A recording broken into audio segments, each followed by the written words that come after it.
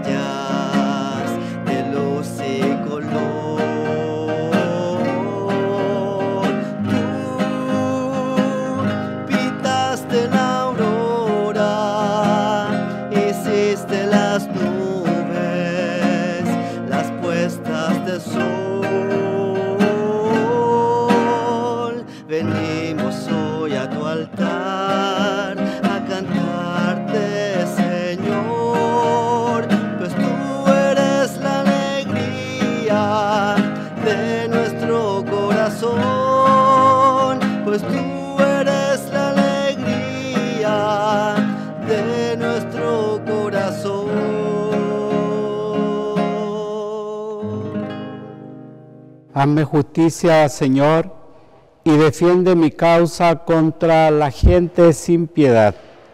Líbrame del hombre falso y perverso, Señor, porque tú eres mi Dios, mi fortaleza. En el nombre del Padre, del Hijo y del Espíritu Santo. La gracia y el amor de Jesucristo que nos llama a la conversión esté con todos ustedes. Estamos en el quinto domingo de Cuaresma. Antiguamente, bueno, y en algunos lugares existía la costumbre que a partir de hoy se tapaban las imágenes, el Cristo y todas las demás imágenes que estaban en los templos. Eso quedó ahora a la libertad y al arbitrio de las conferencias episcopales. Pero donde existe la costumbre se sigue haciendo. Y la imagen de Cristo se cubre hasta el día Viernes Santo cuando se vuelve a descubrir y las demás imágenes quedarían tapadas hasta el sábado santo, la vigilia. Bueno, aquí no lo hacemos por razones prácticas, sería un poco difícil cubrir el Cristo que está detrás nuestro, un poquito grande, entonces por eso no se hace. Pero vale la pena recordar estas tradiciones que formaron parte también de nuestra cultura religiosa. Hoy día vamos a rezar, además de las intenciones que hemos presentado, por eh, algunos abuelitos que están enfermos, complicados, por la edad más que nada. La señora Dorila Acevedo, que tiene 90 años, por eh, Juan Valenzuela, 87 años, Sara González, 98, y doña Antonieta Valdés, hija de la señora Dorila, que tiene 61 años y está con cáncer, para que la tengamos presente siempre en nuestra oración. Y por un joven que está pasando por un momento complicado, con una depresión muy grande, su nombre es Nicolás Cornejo. Y por las intenciones de todos aquellos que nos han pedido que recemos por ellos.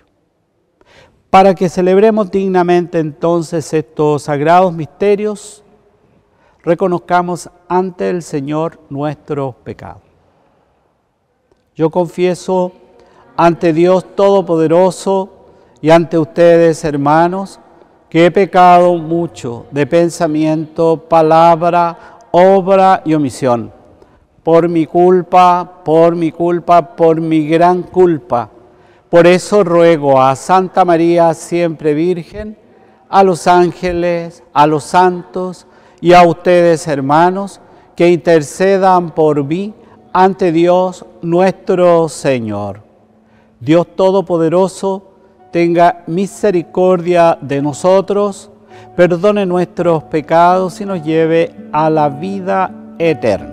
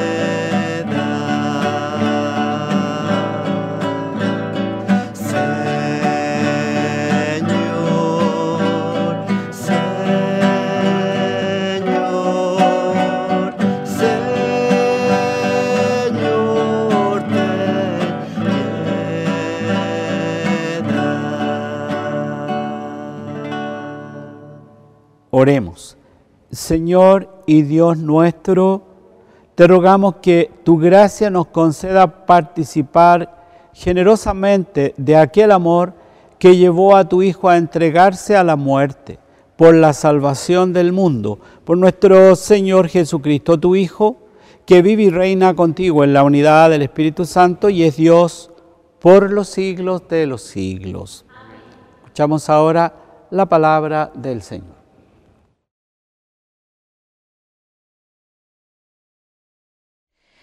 El profeta anuncia una alianza nueva. Dios escribirá su ley en el corazón del hombre y proclama, yo seré su Dios y ellos serán mi pueblo. Escuchemos la primera lectura.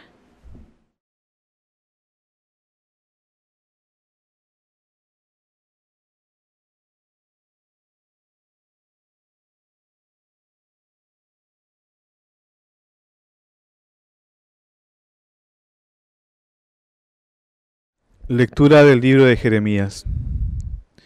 Llegarán los días, oráculo del Señor, en que estableceré una nueva alianza con la casa de Israel y la casa de Judá. No será como la alianza que establecí con sus padres el día en que los tomé de la mano para hacerlos salir del país de Egipto. Mi alianza que ellos rompieron, aunque yo era su dueño, oráculo del Señor. Esta es la alianza que estableceré con la casa de Israel. Después de aquellos días, oráculo del Señor, pondré mi ley dentro de ellos y los escribiré en sus corazones. Yo seré su Dios y ellos serán mi pueblo. Y ya no tendrán que enseñarme, enseñarse mutuamente, diciéndose el uno al otro conozcan al Señor, porque todos me conocerán, del más pequeño al más grande, oráculo del Señor, porque yo habré perdonado su, su iniquidad y no me acordaré más de sus pecados. Palabra de Dios.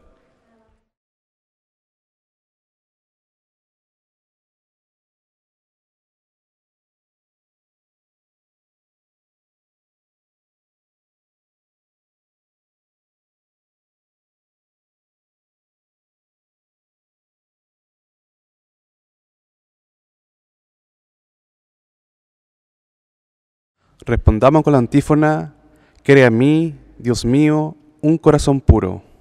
Crea en mí, Dios mío, un corazón, corazón, puro. Ten piedad de mí, Señor, por tu bondad. Por tu gran compasión, borra mis faltas. Lávame totalmente de mi culpa y purifícame de mi pecado. Crea en mí, Dios mío, un, corazón, corazón puro. puro. Crea en mí, Dios mío, un corazón puro y renueva la firmeza de mi espíritu. No me arrojes lejos de tu presencia, ni retires de mí tu Santo Espíritu. Crea en mí, Dios mío, un corazón puro. Devuélveme la alegría de tu salvación. Que tu Espíritu generoso me sostenga. Yo enseñaré tu camino a los impios, y los pecadores volverán a ti. Crea en mí, Dios mío, un corazón puro.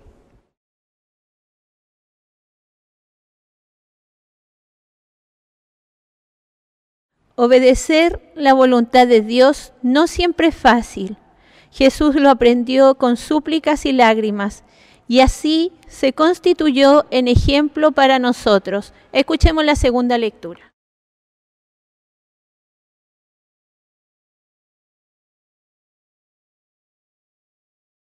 Lectura de la carta a los hebreos.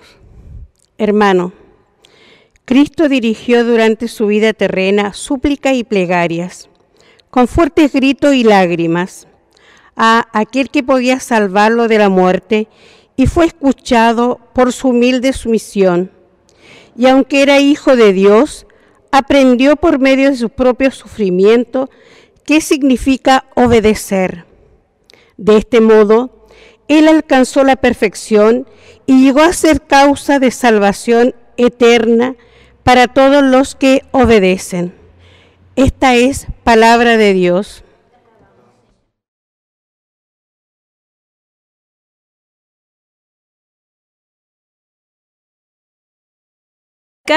el tiempo de su pasión, Jesús nos recuerda que el grano de trigo debe morir para dar frutos, y aquel que no entrega su vida por Dios y los demás la pierde. Hermano, lo invito a ponerse de pie para aclamar nuestro santo evangelio. Honor y gloria a ti, Si eres en tus labios y en tu corazón para que anuncies dignamente su evangelio en el nombre del Padre, del Hijo y del Espíritu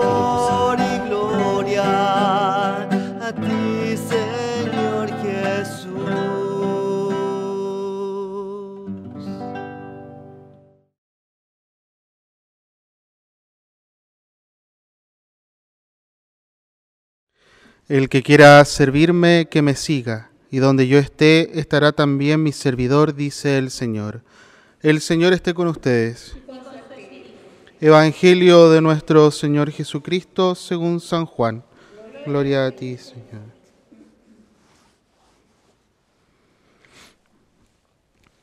Habían unos griegos que habían subido a Jerusalén para adorar a Dios durante la fiesta de Pascua.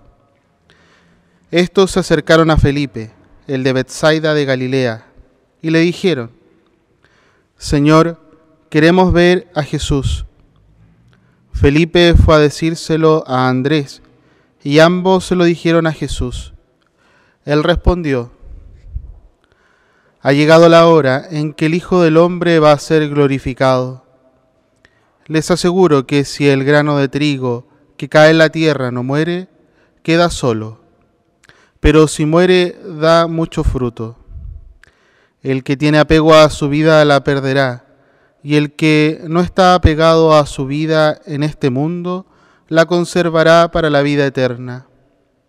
El que quiera servirme, que me siga, y donde yo esté, estará también mi servidor. El que quiera servirme, será honrado por mi Padre. Mi alma ahora está turbada. ¿Y qué diré? Padre, líbrame de esta hora. Sí, para eso he llegado a esta hora. Padre, glorifica tu nombre. Entonces se oyó una voz del cielo. Ya lo he glorificado y lo volveré a glorificar. La multitud que estaba presente y oyó estas palabras pensaba que era un trueno. Otros decían, le ha hablado un ángel. Jesús respondió, esta voz no se oyó por mí, sino por ustedes. Ahora ha llegado el juicio de este mundo. Ahora el príncipe de este mundo será arrojado afuera. Y cuando yo sea levantado en lo alto sobre la tierra, atraeré a todos hacia mí. Palabra del Señor. Gloria y honor a ti, Señor. Honor y gloria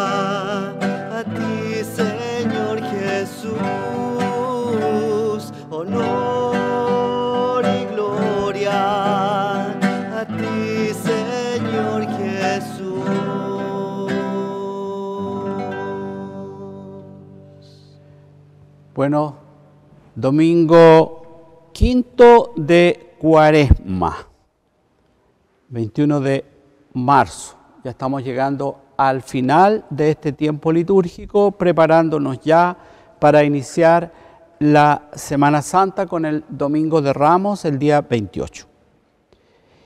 Y hoy día se nos presenta un tema que es muy actual.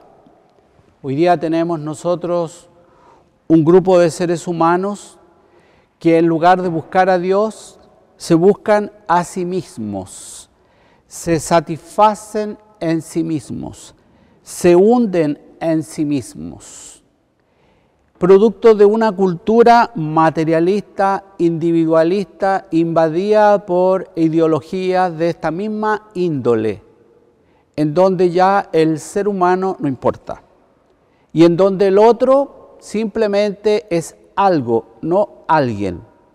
Hay mucha filosofía, inclusive de carácter espiritual, ¿no es cierto?, que vienen del Oriente, que fortalecen esta idea del yoísmo, es decir, yo no más. Entonces yo me busco a mí mismo y me hundo en la energía cósmica del universo. Lo importante es que yo logre un dominio sobre mí mismo, sobre mis emociones, sobre mi carácter, etc. Lo importante es el dominio sobre mí mismo. Lo que le pasa al otro no tiene nada que ver conmigo. Entonces, una cultura de esa naturaleza, por lo tanto, no es muy difícil de que caiga en la dinámica del que copia y pega, es decir, que repite y no piensa. Pero aquí vemos un encuentro de uno de los discípulos con la cultura griega, ¿no? que ellos tenían mucho razonamiento filosófico, se cuestionan muchas cosas y han escuchado hablar de Jesús y le preguntan a, Felipe quién es Jesús. Felipe se da cuenta de que él solo no puede responder a esto y percibe que este es un tema que tiene que ver con la comunidad, no es un tema solamente personal. Por eso va en busca de otros para que le ayuden en este, en este experimento que querían hacer con él, por así decirlo, y entregar una respuesta. La pregunta eh, eh, que podríamos nosotros también recibir de mucha gente hoy día es que nos dijeran, bueno, ¿y quién es Jesús? ¿Cuál debería ser la respuesta nuestra? Más que una respuesta verbal, tiene que haber una respuesta de testimonio. Nuestra vida, nuestro compromiso, nuestro amor a Dios, nuestro amor al prójimo. Esa debería ser nuestra respuesta. Ahora, el dinamismo del cristiano, como ya lo hemos repetido hasta el cansancio aquí en las misas de este último tiempo, tiene que ver con la imagen de la Santísima Trinidad. Tres personas distintas, pero un solo Dios que están en íntima relación permanentemente. Y el hombre fue creado a imagen y semejanza de Dios y está llamado a entrar en relación con el otro. Por eso cuando se toman decisiones eh, políticas, económicas, ideológicas, hay que considerar ese dinamismo. Por ejemplo, el gran empresario, ¿no es cierto? Aquel que tiene tanto dinero, tendría que pensar precisamente, si se dice cristiano, de qué manera sus recursos, ya sea económicos, de inteligencia, de trabajo, podrían beneficiar a una gran parte de la población. No estamos hablando aquí de regalar bonos para que la gente se quede tranquila o comprar favores, sino que ver de qué manera intervenimos como cristianos para transformar la fraternidad nuestra, es decir, para afirmar la fraternidad cristiana. Recordando las primeras comunidades cristianas que decían que todo lo que tenían lo compartían, rezaban juntos, celebraban la misa y asistían a la enseñanza de los apóstoles. Por otro lado, el mundo político, más que pensar en sus propios beneficios partidistas o en sus propios beneficios de poder, porque en el fondo la lucha está por ahí, deberían pensar cómo yo, político, que me digo cristiano, de qué manera estoy aportando a una sociedad más justa en donde no le voy a contar cuento a los pobres, ni les voy a ir a pedir un espacio en su casa para poner un letrero que haga propaganda sobre mi candidatura, sino más bien como yo en ese puesto de poder puedo beneficiar con las redes que se ponen a mi servicio al progreso, al desarrollo de esas personas que viven en postración. Por otro lado, la gente que está involucrada en el tema de, los medios de comunicación, en lugar de servir a una verdad, entre comillas, sesgada, deberían preguntarse de qué manera esta posibilidad de llegar a tanta gente está sirviendo para establecer la verdad y dejar de manifiesto las necesidades de los más desvalidos de nuestra sociedad. Nos hemos dado cuenta en este último tiempo que los servicios de salud, los hospitales en general, están abarrotados de gente, que ya no hay camas para eh, enfermos eh, graves de COVID y además leí estos días que han quedado más de 7.000 prestaciones de servicio para gente que necesitaba operarse postergadas por tiempo indefinido.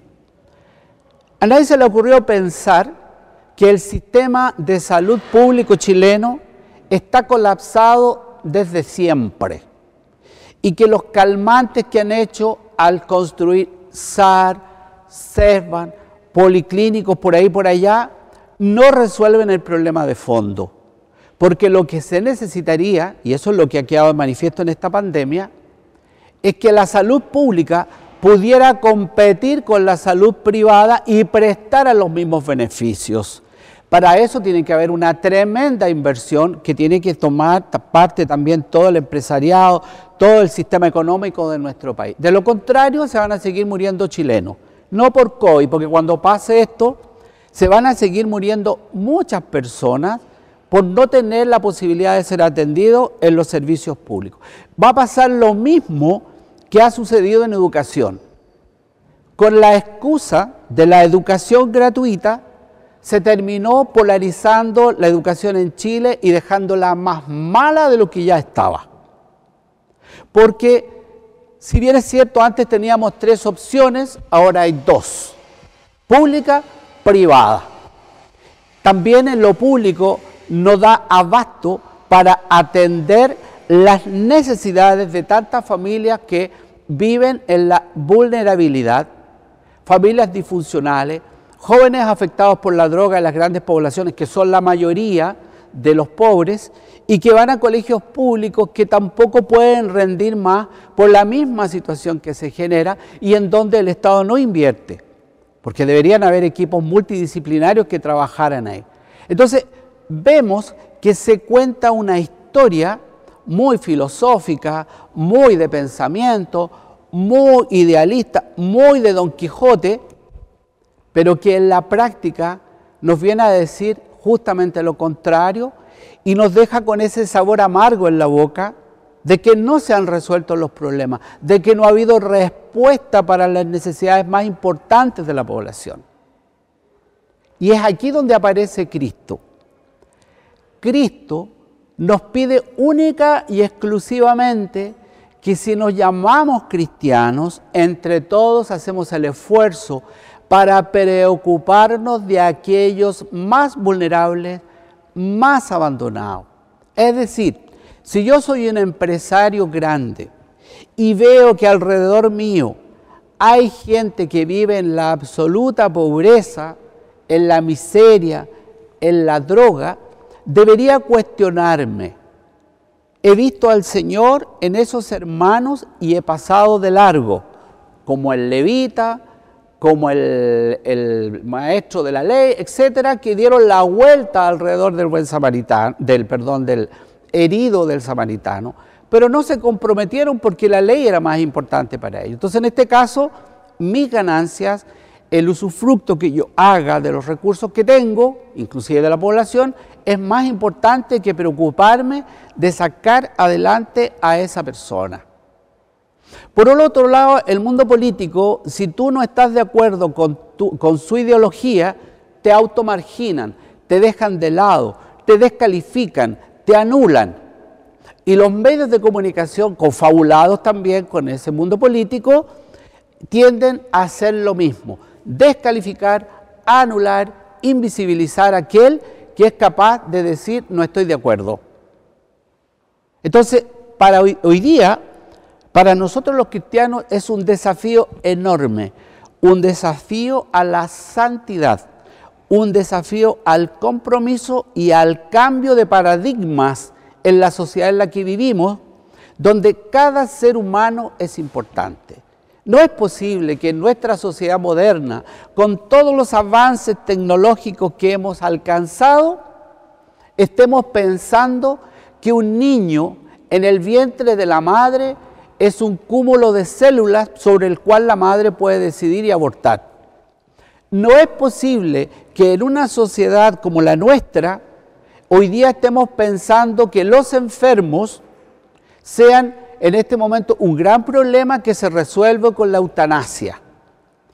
No es posible que un grupo de políticos piense que la iglesia no tiene derecho a manifestarse públicamente y decir que no a situaciones arbitrarias sobre la celebración del culto. Quiere decir que se requiere de nosotros valentía para responder de palabra y de obra frente a estas situaciones. ¿Qué quiere decir de palabra? Bueno, fundamentemos. Segundo, de obra, actuemos. Yo quiero dar gracias a la comunidad parroquial de San Vicente de Tahuatahua, que se ha preocupado durante este último tiempo precisamente de atendernos con alimentos no perecibles para ayudar a las familias que están en situación de vulnerabilidad y que, bueno, nosotros hacemos lo posible con la misma ayuda que nos llega de poder atender algunas de esas necesidades. Quisiera agradecer a esas personas anónimas que han entendido esto que estamos hablando.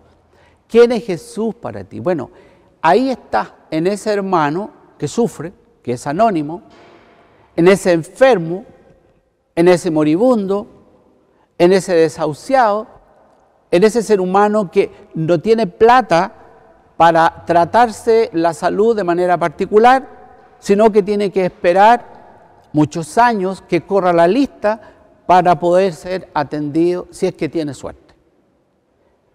Que el Señor Jesús sea siempre la luz que guíe nuestros pasos, nuestra conducta y nuestro compromiso social y religioso.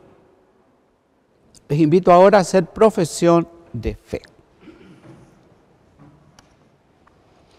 Creo en Dios Padre Todopoderoso, Creador del cielo y de la tierra. Creo en Jesucristo, su único Hijo nuestro Señor, que fue concebido por obra y gracia del Espíritu Santo. Nació de Santa María Virgen, padeció bajo el poder de Poncio Pilato, fue crucificado, muerto y sepultado. Descendió a los infiernos al tercer día resucitó de entre los muertos, subió a los cielos y está sentado a la derecha de Dios Padre Todopoderoso. Desde allí ha de venir a juzgar a los vivos y a los muertos. Creo en el Espíritu Santo, en la Santa Iglesia Católica, la comunión de los santos, el perdón de los pecados, la resurrección de la carne y en la vida eterna. Oremos, hermanos, y pidamos la misericordia del Señor para que, compadecido de su pueblo penitente, escuche nuestras plegarias.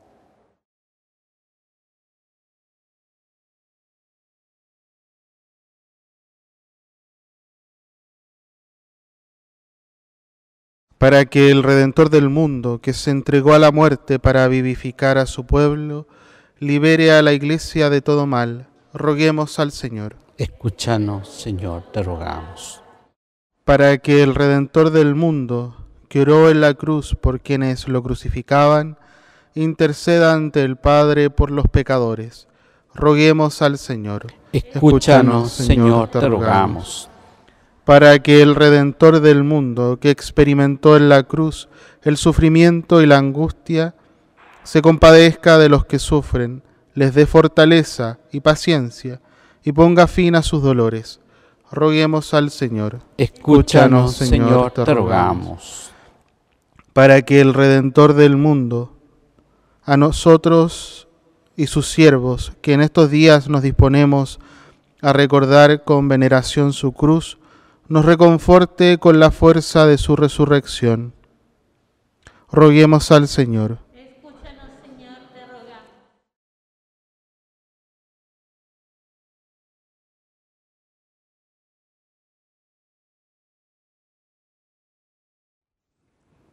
para que el Señor fortalezca la fe de todos los cristianos de nuestro país, para que por el testimonio y la santidad de cada uno, el enemigo sea neutralizado en nuestra patria. Roguemos al Señor. Por las intenciones que hemos presentado, particularmente por la salud de nuestros hermanos enfermos y además por el descanso eterno de nuestros hermanos difuntos, por quienes ofrecemos esta Eucaristía. Roguemos al Señor. En un momento de silencio, les invito a que cada uno presente al Señor sus propias intenciones, especialmente ustedes que están en su casa.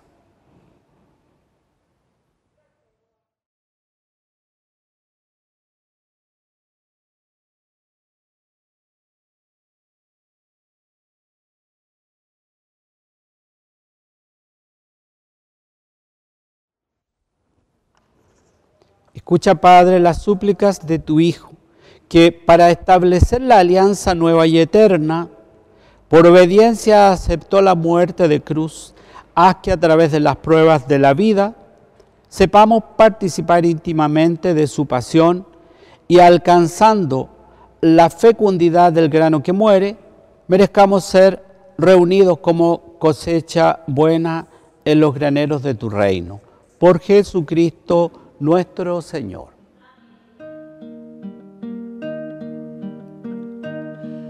Con amor te presento, Señor, lo mejor de mi vida.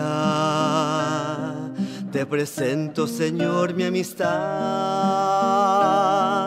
Con amor te presento, Señor, para ser mi manjar. La viña, el racimo, el trigal, el pan de mi hogar, te presento con amor. Con mis manos abiertas a ti, contemplando tu lámpara. Te presento, Señor, mi esperanza. Hacia ti se dirige mi barca, hacia el cielo se va. Es largo el camino al remar, Bendito ruta pascual. Dios universo, me este pan, fruto de la guía tierra al del trabajo del hombre, que caminar. Generosidad y lo te presentamos. Con mi ofrenda también yo te doy lo mejor de mis lágrimas. Te presento, Señor, mi dolor. Te presento, Señor, mi oración. Ofertorio de amor. El grano enterrado ya es flor. La espiga oblación. La semilla redención.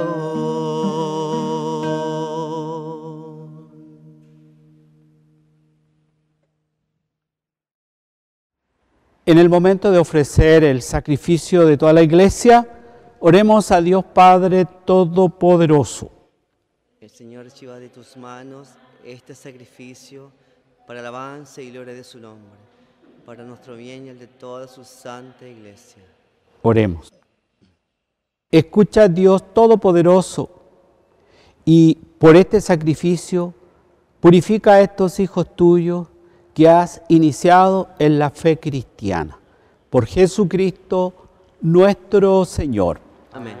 El Señor esté con ustedes. Con tu espíritu Levantemos el corazón. lo tenemos levantado hacia el Señor. Demos gracias al Señor nuestro Dios. Es justo y necesario. En verdad es justo y necesario.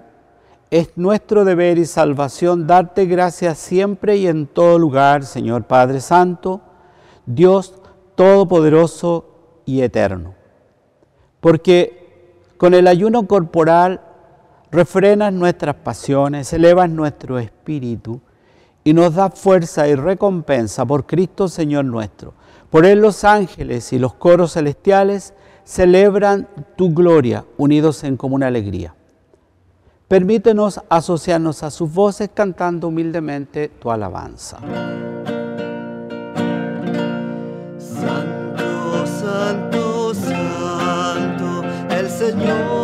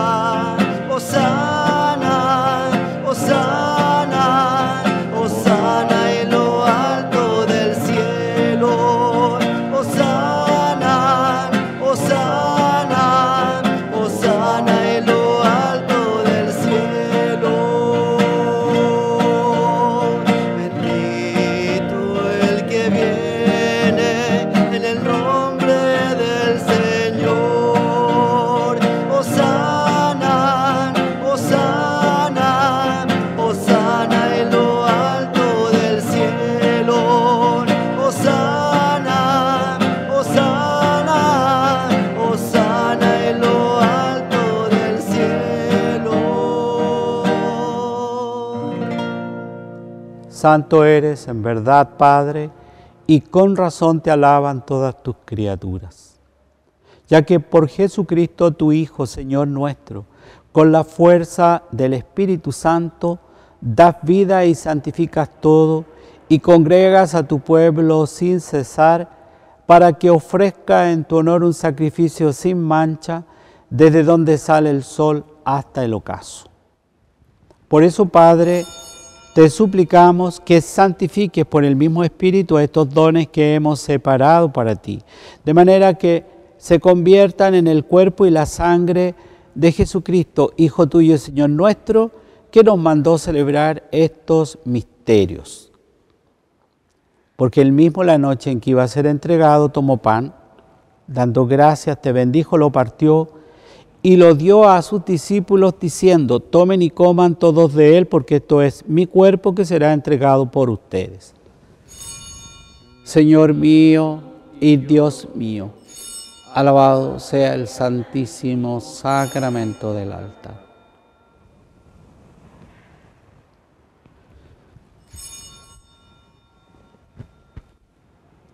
Del mismo modo, acabada la cena, tomó el cáliz, dando gracias, te bendijo y lo pasó a sus discípulos, diciendo, tomen y beban todos de él, porque este es el cáliz de mi sangre, sangre de la alianza nueva y eterna que será derramada por ustedes y por muchos para el perdón de los pecados. Hagan esto en conmemoración mía. Señor mío y Dios mío, alabado sea el santísimo sacramento del altar.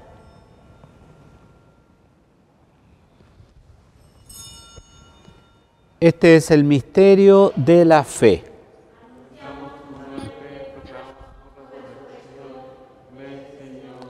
Así, Padre, al celebrar ahora el memorial de la pasión salvadora de tu Hijo, de su admirable resurrección y ascensión al cielo, mientras esperamos su venida gloriosa, te ofrecemos en esta acción de gracias el sacrificio vivo y santo.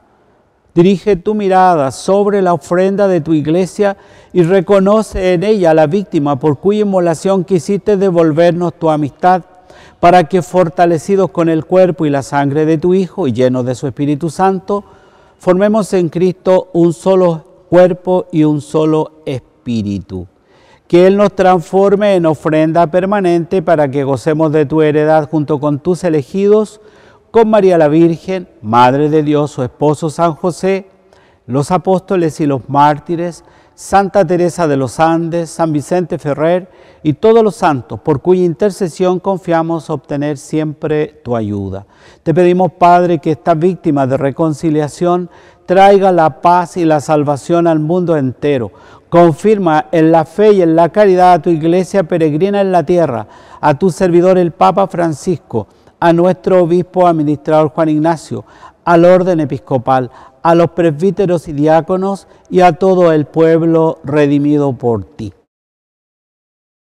Atiende los deseos y súplicas de esta familia que has congregado en tu presencia en el día domingo, día en que Cristo ha vencido a la muerte y nos ha hecho partícipes de su vida inmortal. Recuerda a tu hijo Gilberto José Reyes Jiménez y a todos los que te hemos encomendado, a quienes llamaste de este mundo a tu presencia. Concédeles que así, como han compartido ya la muerte de Jesucristo, compartan también con Él la gloria de la resurrección. Cuando Cristo haga resurgir de la tierra a los muertos y transforme nuestro cuerpo frágil en un cuerpo glorioso como el suyo.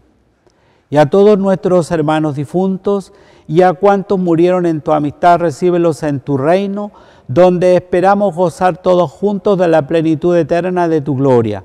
Allí secarás las lágrimas de nuestros ojos, porque al contemplarte como tú eres, Dios nuestro, seremos para siempre semejantes a ti y cantaremos eternamente tus alabanzas. Por Cristo, Señor nuestro, por quien concedes al mundo todos los bienes. Por Cristo, con Él y en Él, a ti Dios Padre Omnipotente, en la unidad del Espíritu Santo, todo honor y toda gloria por los siglos de los siglos. Antes de participar en el banquete de la Eucaristía, signo de reconciliación y vínculo de unión fraterna, oremos juntos como el Señor nos ha enseñado. Padre nuestro que estás en el cielo, santificado sea tu nombre. Venga a nosotros tu reino. Hágase tu voluntad en la tierra como en el cielo. Danos hoy nuestro pan de cada día. Perdona nuestras ofensas como también nosotros perdonamos a los que nos ofenden. No nos dejes caer en la tentación y líbranos del mal.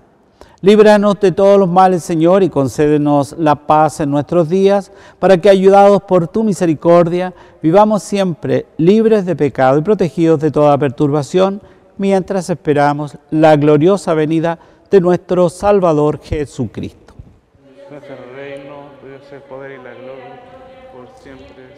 Señor Jesucristo, que dijiste a tus apóstoles, la paz les dejo, mi paz les doy.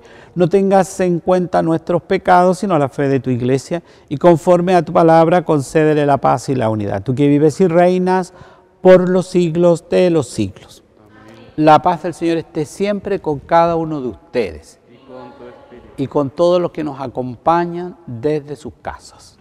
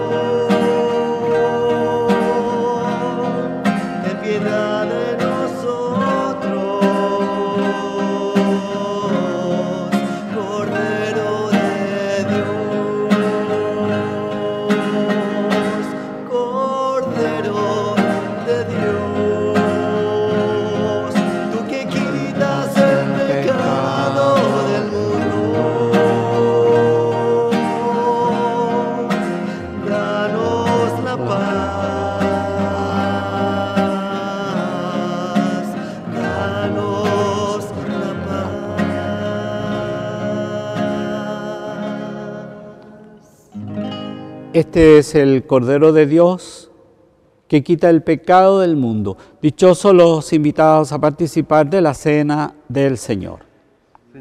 No soy digno de que entres en mi casa, pero una palabra tuya bastará para sanarme. El cuerpo y la sangre de Cristo.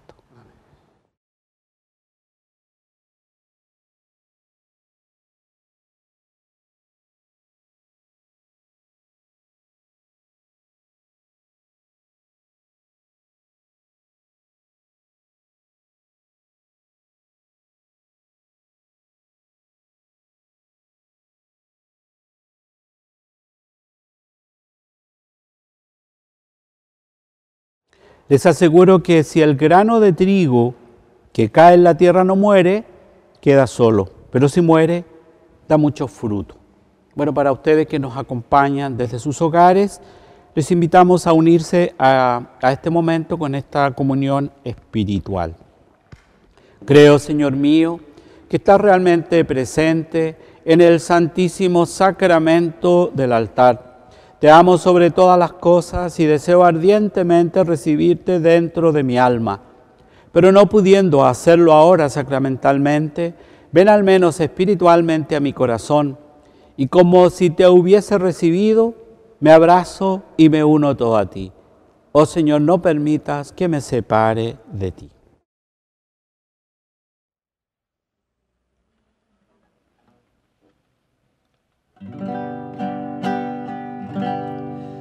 Somos polvo y al polvo volveremos.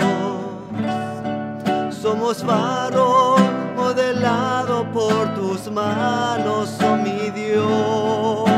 Somos criatura frágil que sin ti no vive. Haznos nuevos con tu amor, purifícanos, Señor. Arrepiéntete y cree en el Evangelio. Nos dijiste tú por amor al reino. Arrepiéntete y cree en el Evangelio.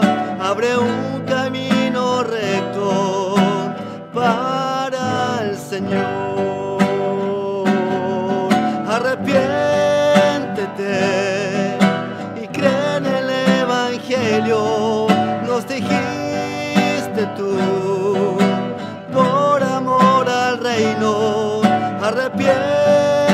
Y cree en el Evangelio. Abre un camino recto para el Señor. Abre un camino recto para el Señor. Oremos. Dios Todopoderoso, concédenos que podamos contarnos siempre entre los miembros de Cristo, cuyo cuerpo y sangre hemos recibido, que vive y reina por los siglos de los siglos. El Señor esté con ustedes. Padre, bendice a tu pueblo que espera en tu misericordia y concédele que obtenga lo que desea por tu inspiración, por Jesucristo nuestro Señor. Y la bendición de Dios Todopoderoso, Padre, Hijo y Espíritu Santo, descienda sobre ustedes y permanezca para siempre. Amén. Nos quedamos en la paz y en la alegría del Señor. Demos Demos, gracias gracias, a a Dios. San Miguel Arcángel, defiéndenos en la lucha, sé nuestro amparo contra la perversidad y acechanzas del demonio.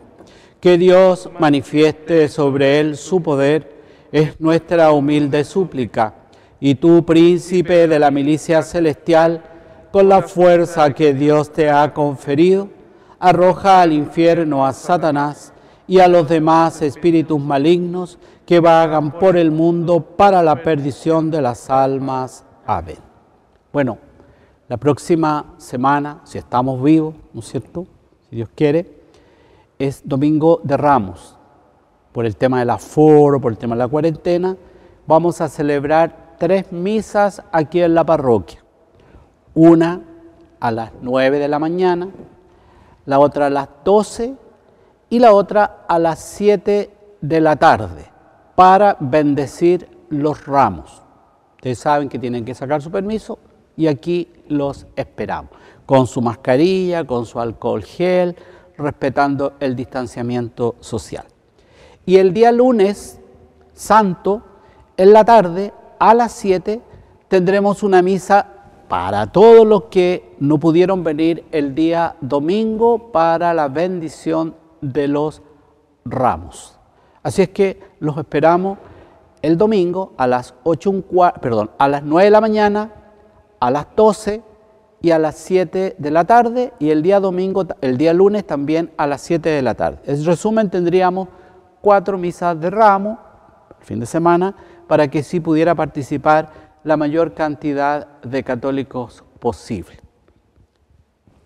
Tienen que traer el ramito, cada uno se las arreglará para traerlo y aquí lo bendecimos. Que tengan una muy bendecida semana. Igualmente, Padre. Vayamos a anunciar a todos la buena noticia de Jesús. El que vive y cree en mí no morirá jamás. Tengan una bendecida jornada, nos despedimos cantando. Cuántas veces siendo niño te recé, con mis besos te decía que te amaba. Poco a poco con el tiempo alejándome de ti, por caminos que se alejan me perdí, por caminos que se alejan me perdí. Hoy he vuelto, madre, a recordar cuántas cosas dije ante tu altar. Y al rezar te puedo comprender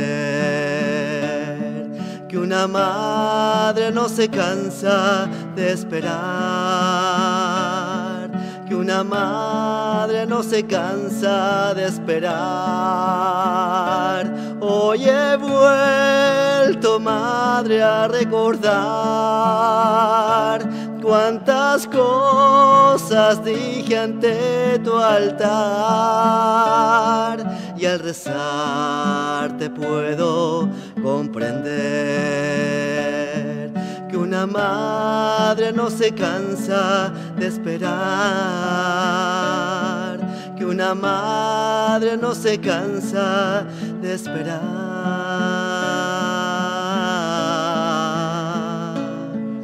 Cuántas veces siendo niño